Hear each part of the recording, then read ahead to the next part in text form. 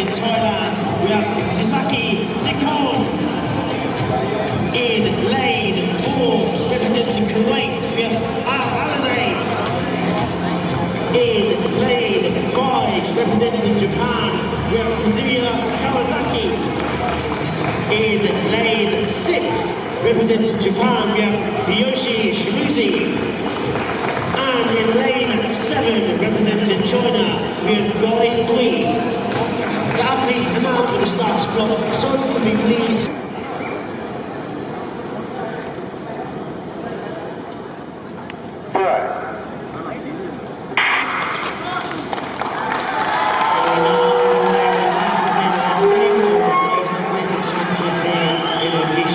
If you have your phone out, please use the hashtag Audition 2017. So we'd love to see your pictures and videos.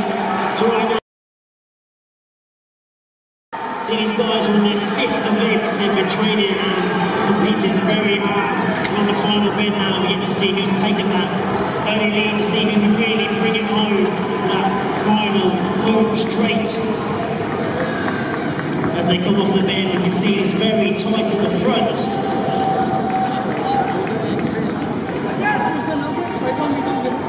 It looks like Abigail Kuwait will be taking home the victory in his men's 400 metres recovery race, the last race of the day. But we still have some medal celebrations about to take place, so make sure you stay around that.